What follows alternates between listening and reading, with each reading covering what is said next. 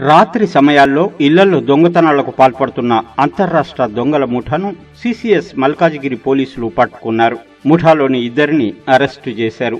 Lockdown తర్వాత దొంగతనాలు పెరిగినట్లు police అధికారులు తెలిపారు. మేడిపల్లి పోలీస్ స్టేషన్ పరిధిలో ఇటీవల ఎక్కువగా దొంగతనాలు జరిగినట్లు అధికారులు తెలిపారు. మధ్యప్రదేశ్ నుండి వచ్చిన ముఠగా పోలీసులు గుర్తించారు.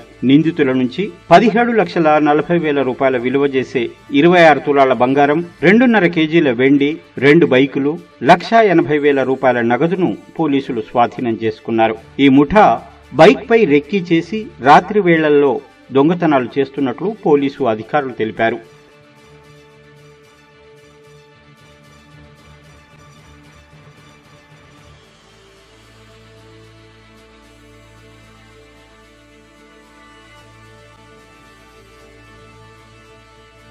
ఈ మధ్యకాలంలో మన ఈ లాక్డౌన్ శిథిలైన తర్వాత ప్రాపర్టీ అఫెన్సెస్ మళ్ళా స్టార్ట్ అయినాయి. రోజు ఏమైనా ఏరియాలో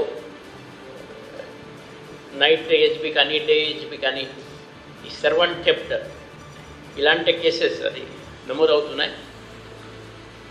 ఈ మేడిపల్లి పోలీస్ స్టేషన్ ఆ పోలీస్ స్టేషన్ పరిధిలో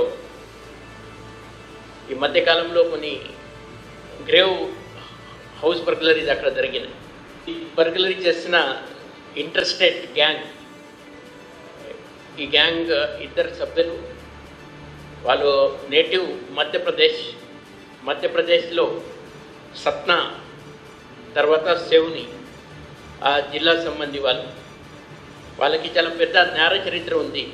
ఎలా అంటే ఇద్దరు సిబ్బందిని ఆ నేరస్తులని అరెస్ట్ చేస్తూ